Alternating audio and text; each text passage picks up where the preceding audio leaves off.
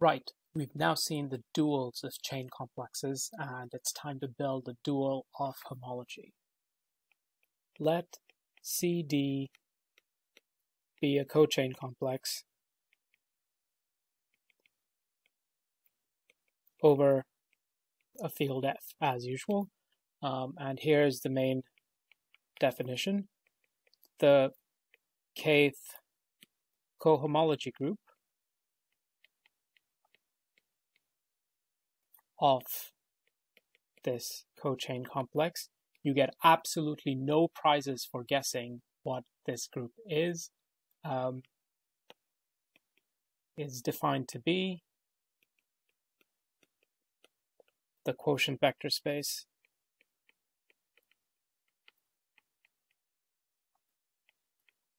um, we'll write it as h upper k in keeping with our superscript indexing convention um, it's the kernel of the kth co-boundary map, quotient the image of the k minus first co-boundary map. Uh, this kernel is called the space of k cocycles, and we'll call this the space of k co-boundaries. Although you should be warned uh, that uh, I think people might uh, tend to call it k minus one uh, co-boundaries. It's a, it's a whole thing, but this is the um, the definition. And remember, because of duality, um, uh, the fact that a cochain complex uh, composing two consecutive co-boundary maps gives you zero, the images actually live inside the kernels as subspaces, so the quotient vector space makes sense. Um, okay, now um, I I realize that this may not seem very enlightening. We've just taken a definition that we were beginning to understand, turned around all the arrows, and produced a new definition just sort of purely from algebraic duality.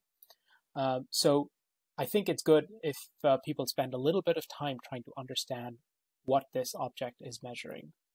Uh, but let me quickly remind you. So reminder, for a simplicial complex K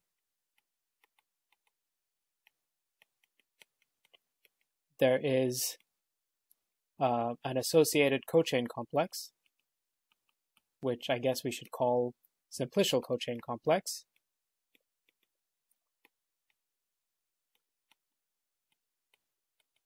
which um, looks something like this. So the kth cochain group um, how do we write this? Of K. This is um, the dual of the K chain group. Um, so in particular, this means that its um, basis elements,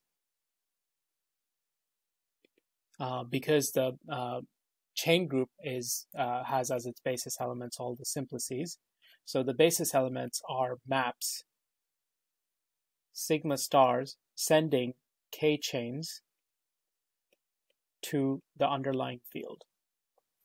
And what does sigma star uh, do? Well, sigma is supposed to be a k simplex. And what sigma star does is it sends sigma to 1 and sends everything else in the basis to 0. So sigma star of a simplex tau is 1 if tau equals sigma and 0 otherwise.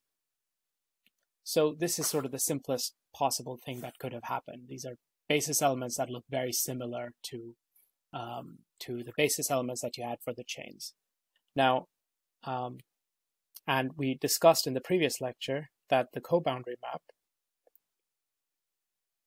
uh, which gets a superscript indexing and goes from the k cochains to the k plus 1 cochains is just the transpose in this basis of the simplicial boundary map, which um, I guess I should be extremely careful about which k's are big and which k's are little here. So there. Um, okay. So, um, and this of course is k minus 1. So uh, remember, um, is it k minus 1? No, I always get this wrong. This is k plus 1. So this k plus 1 goes from um, the k plus 1 chains in k to the k chains in k. And of course, if you transposed it, you'd get exactly um, the, the co-boundary map, but with a degree shift, as we discussed in the previous lecture. Okay, so um, much of the rest of this lecture, the goal is to give you some intuition for cohomology. So let's um, let's do this uh, by building some sort of example. Uh, and so I imagine an annulus, and we've uh, sort of triangulated the living daylights out of it. Uh, is that a triangulation? No, still going. Uh, so this is a simplicial complex whose, yeah, maybe this is easier, isn't it? Um, whose geometric realization is basically it's an annulus. So the, the part in the middle is missing and everything else is there and I am still triangulating it because I'm obsessed with it. But I will stop in a second when we reach the end. Okay, that's close enough. Maybe that's a triangulation. Okay, so what does a cochain look like? How should we think about a one cochain? So it's going to send some one chain to, um, it's going to take values on one chains basically. And to define it, we just have to figure out which basis elements, meaning which edges it sends to non-zero um, elements of the ground field F. And so um, you could imagine over Z mod 2 coefficients. Um, here, there's only one choice of non-zero object to send each edge to because the field only has 0 or 1. So it, at least over mod 2, you could just write every cochain as by, by just indicating the edges, some subset of edges, that um, that must be sent to non-zero elements. So here's a cochain that sends one, two, three, four, five. Those five edges I've just highlighted to one, and all the other edges in sight are sent to zero. So this is a perfectly good one cochain. Okay, so what's an example of a one uh, co-cycle? Let's get rid of this old cochain and think about what it will take to be a one co-cycle. Now, you want its co-boundary to vanish. You want it to be in the kernel of uh, the first co-boundary map. So let's imagine that that this edge was sent to something non-zero uh, by your um, uh, by by the cochain. That I mean that's supposed to be a co-cycle. So the minute that edge is present with again we're working over mod two, so that edge is present with coefficient one. So that edge is being sent to one by our cochain. Uh, its co-boundary is going to include these two simplices. Why?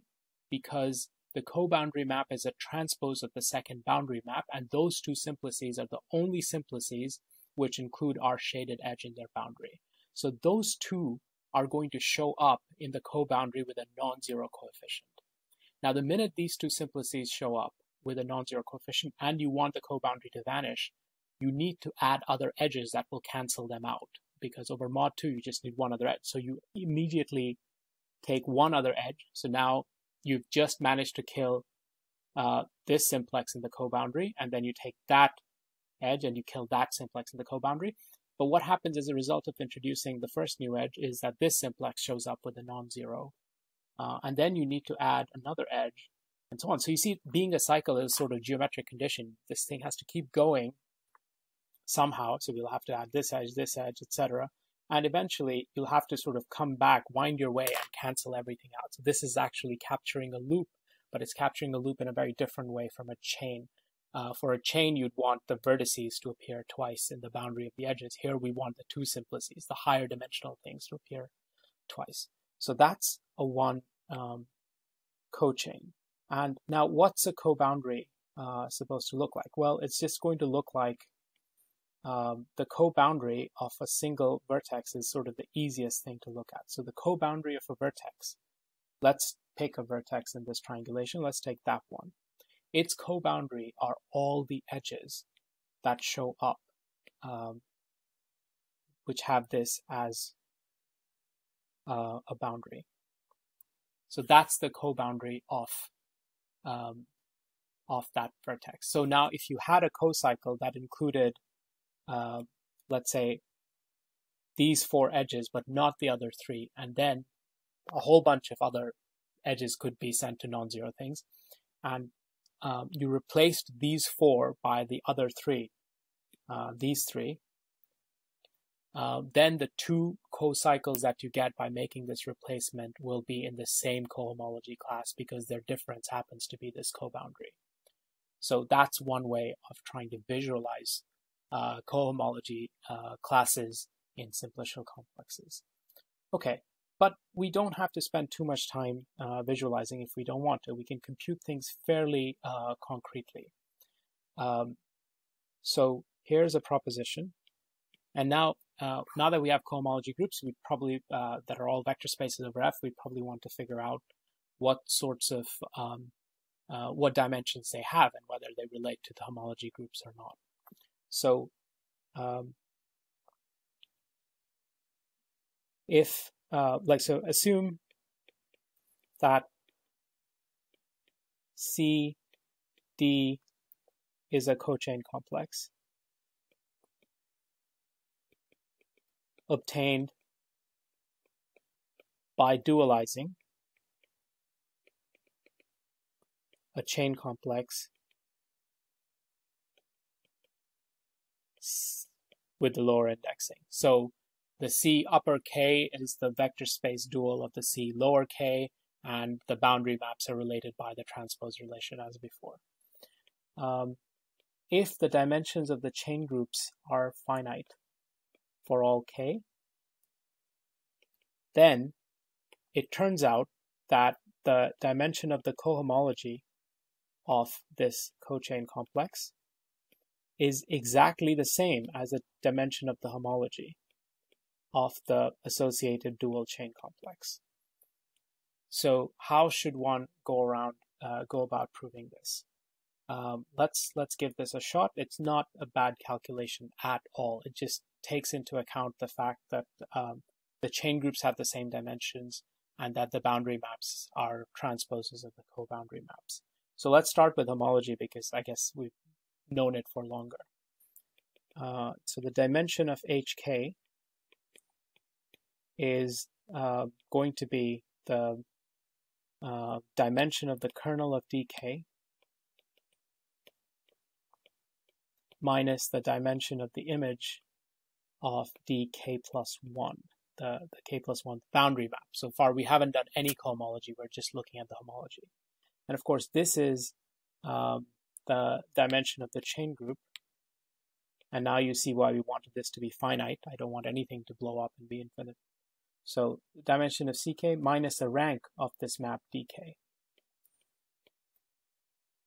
And then minus, uh, this is again the rank of dk plus 1. Okay, now let's use the fact um, that the dimension of the ck is the same as the dimension of its dual because we have a dual basis. Everything is finite.